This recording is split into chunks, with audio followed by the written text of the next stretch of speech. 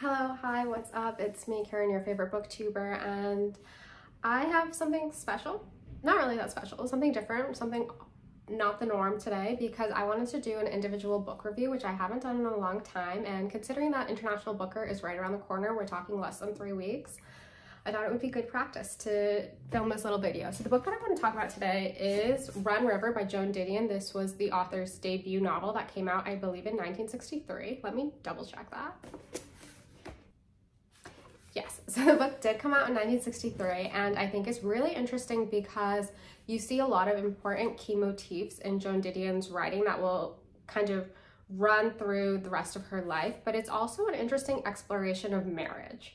And it's a book that I read over the course of a week, and it's something that I was really taking my time with. I really enjoyed reading it. But I would have to say, I don't think this book is for everyone because I do think that one of the complaints you can lobby at this book is that it is kind of boring literally kind of boring. But I was fascinated because reading about marriage is something that really interests me for some reason. And so yeah, let's let's talk about it. Let's dive right into it. The novel kicks off with the inciting incident, which is basically the only action that really happens in this book. And we begin the opening sentence. Lily heard the shot at 17 minutes to one.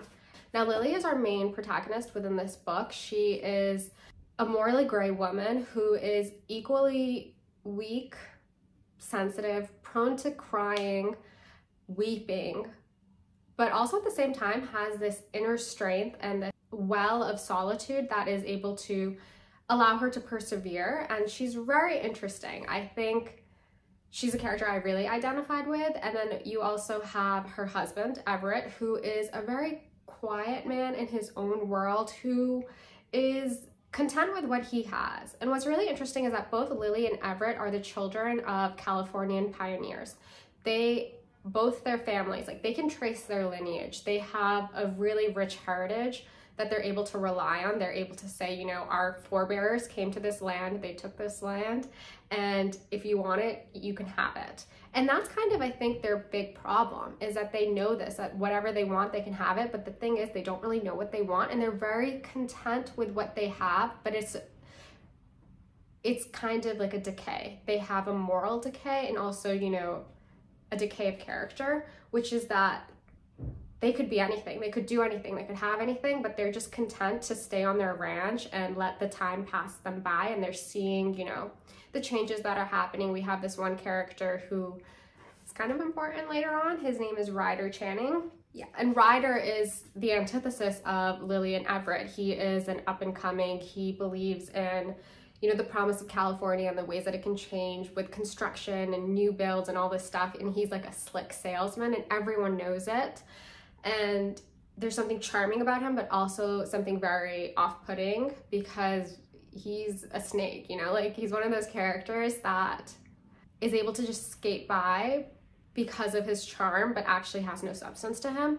And he is also someone who's going to experience moral decay. Like all these characters have very unhappy lives and come to gruesome ends, I guess you could say. And then another character that we have in this book. So we got Lily, wifey her husband, Everett, Ryder, who is important, and he ends up dating. How we're introduced to him is because he is the paramour of Martha. Martha is Everett's sister, and she is the same age as Lily, or maybe like a year younger. And what's really interesting is that you have these three characters, Lily, Everett, Martha. They've known each other their whole entire lives. And growing up, Martha said to Lily, like, you should marry Everett.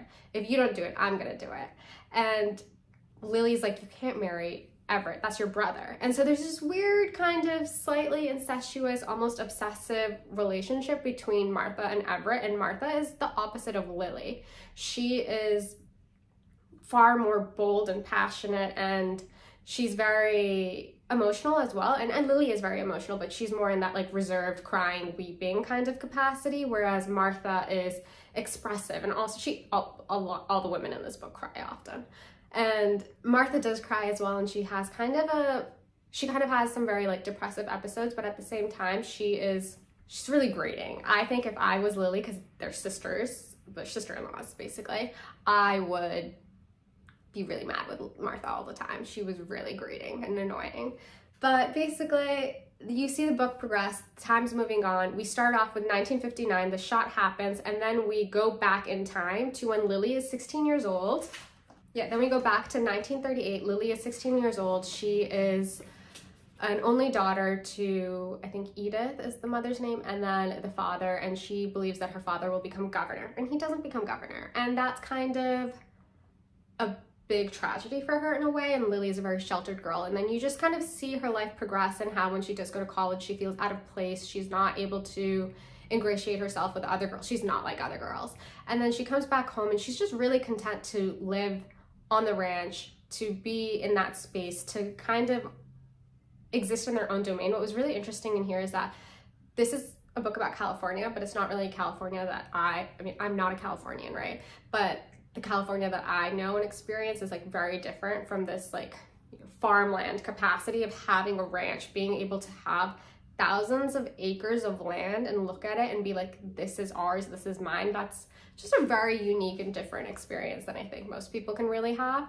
And Lily's and her husband, eventually, eventual husband Everett, are really content with this is our land and this is this is ours and we belong here and we're gonna die here and we're gonna be buried here. And it's just fascinating.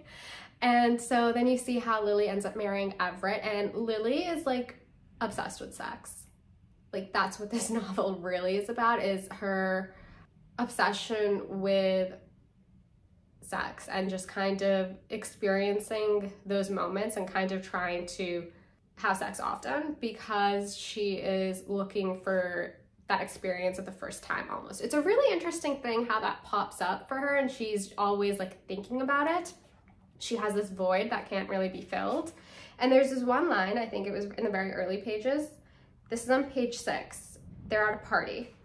Uh, you could count on all the same faces, all the same games. At one of Francie's parties last year, when Ryder Channing had announced belligerently that he owed money to five of the ten men in the room, it had occurred to Lily that she had been to bed with seven, and in four cases could not remember exactly when or where. Now, that's it starts off really saucy this book and then basically you're kind of just seeing the way that lily and everett kind of betray each other in different ways and lily's are more you know often and frequent and with the various men's and everett's betrayal occurred very early in the marriage and you see how Didion is working through how they're kind of replaying a lot of the same arguments. Like the argument that they have is always the original argument.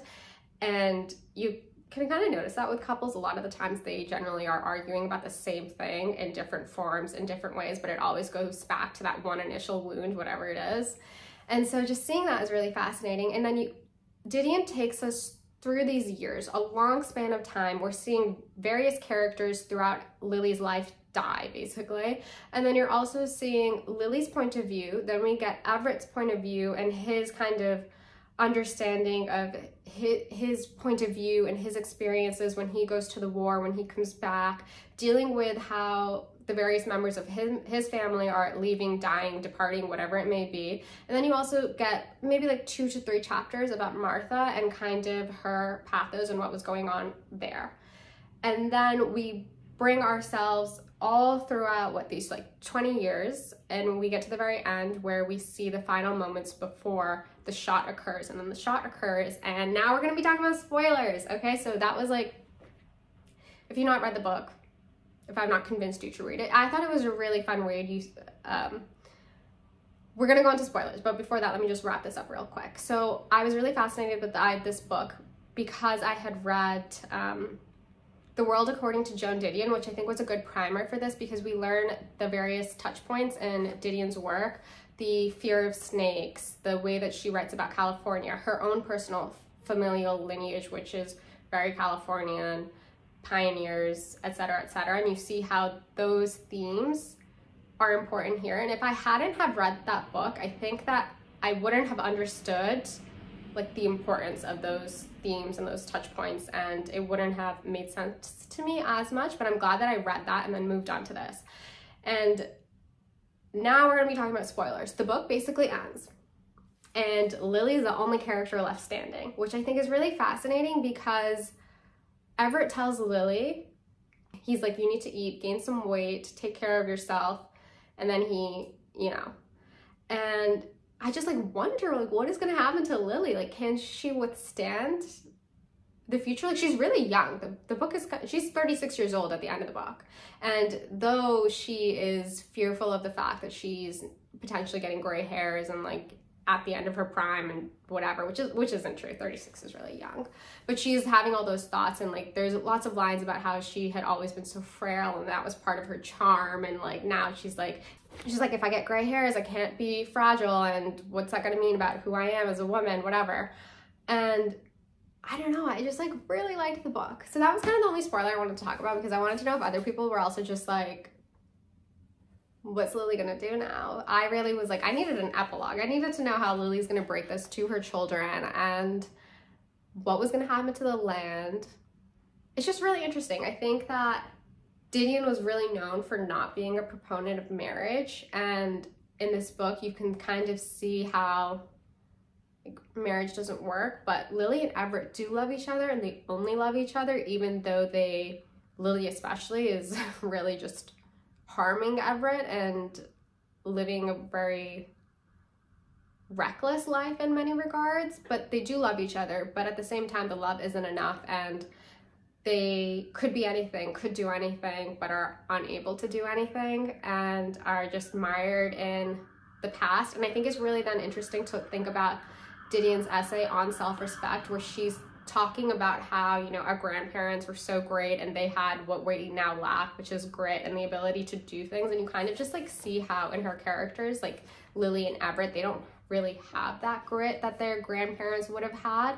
And yeah, I really like this book. I don't think a lot of people talk about it. So that's why I wanted to film this video. And though it was a little chaotic because I'm out of practice with doing uh, individual book reviews. I would love to know if you read the book, what your thoughts were. If you haven't read the book, if you plan on reading it, I do recommend it. I thought it was a lot of fun because, you know, it's about marriage, sex, decay, and the failure of American promises, I guess you could say. And yeah, I really enjoyed it. And I'm looking forward to reading more of Didion's work, her novels in particular. Maybe that will be my project for the year. I'll, I'll work my way through everything and I'll I think I'll end with Play It As It Lays because that's considered her best novel. But yeah, that's the video.